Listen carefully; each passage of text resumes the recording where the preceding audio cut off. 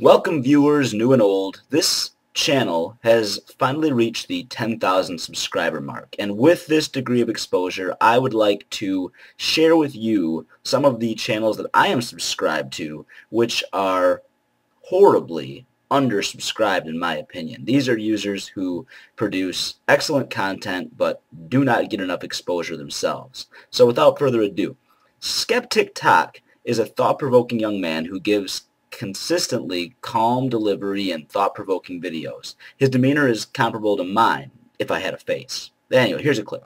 Some uh, communities have it have situations where it's not uncommon for people to say god told me to do this or i felt the holy spirit leading me to do this or that which sounds weird to outsiders but it's fairly common in pentecostal culture my question is uh, what do you think's going on here uh, obviously, we're religious skeptics, and we don't believe that these people are actually communicating with God.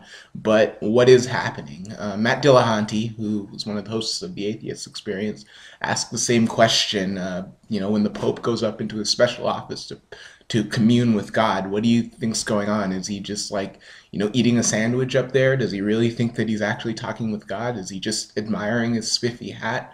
Uh, what do you think? What do you think about that? My Grammar Rules has a high potential channel on which she posts videos that promote common sense and proper grammar. I'm sold. If you have ever wondered why atheists make such a big deal about God, and you really truly want to understand why atheists spend so much time talking about a God they don't believe in there is something very simple you can do to enlighten yourself. Just for a moment, consider this. Everywhere you would put God, instead, put any one of the thousands of other gods you don't believe in in his place. Are you scared yet? The Lizard Lass's only fault as a YouTuber is not posting videos often enough. She's easy on the eyes, intellectually stimulating, and made the best Have You Seen This Man video of all time. That video, which I'll show a clip of here, used tangible examples to convey the message of how foolish it is for Muslims to be offended by depictions of their prophet, rather than just overtly offending them and hoping it has the same effect. Take notes, Thunderfoot. A little stick man named Muhammad. Now, some people would find this offensive, but if I take away this extra piece of card, you'll see that this little Muhammad is just a little boy who was born in 2003. His parents happened to name him Muhammad. He's not the Islamic prophet, so, you know, everybody who got offended by this picture before I took that little piece of card away should, um, should probably get over that. Billy Bob Neck is the single most hilarious Poe on the face of the planet. Observe! Well, all right, this is Billy Bob Neck. This is Sunday, the day the Lord has made, and if it's Sunday, it means that we're going to praise His name by going through some of the people who hate Jesus.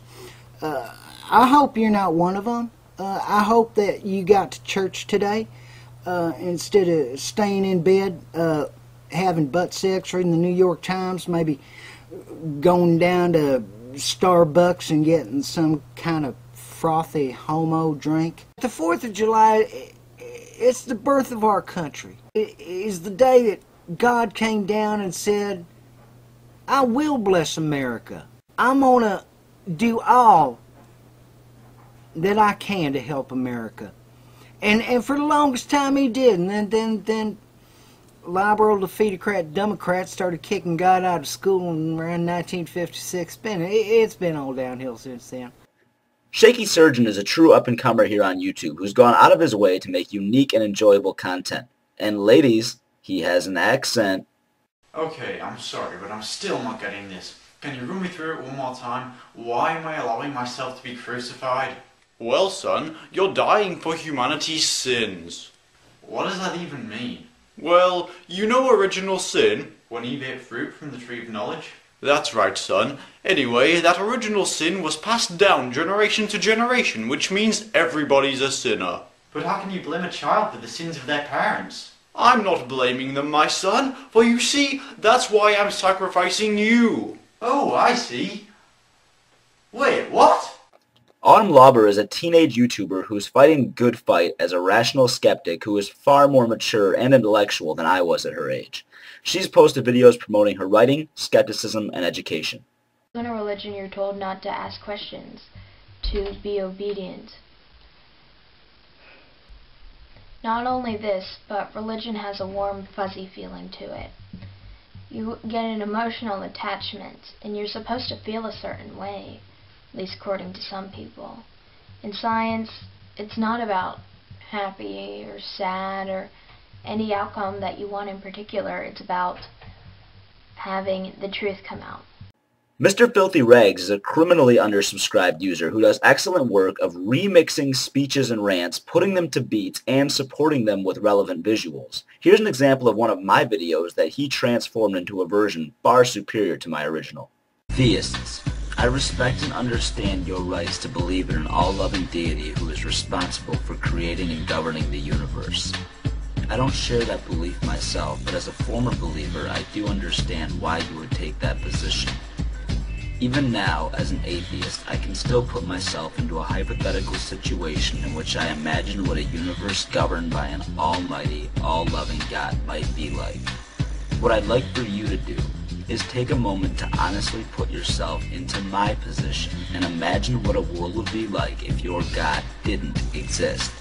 The user called I Don't Know You is a very bright young woman and friend of mine who I entered into a competition with two other high-quality, high-potential YouTube friends of mine who had zero videos on their current channels. My award to her as the winner of that competition, which was to post the video first, is to feature her here. So if you're intrigued by this user, check out her channel and harass her for not making videos more often. I met these two guys one night. They, one was from Japan and one was from Singapore.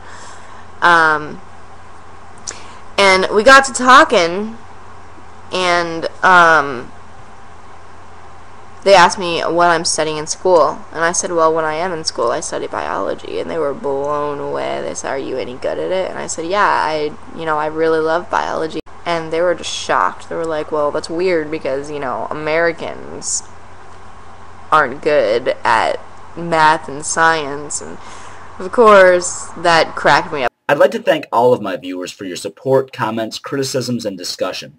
I'd also like any of you who aren't aware of my ongoing What's Tough About Your Job project to check that out and make a video contribution. I love watching entries to that project, and the more diverse the contributions, the more educated its audience can become. The link is at the bottom of the description box, where you'll also find the channels of all these great users.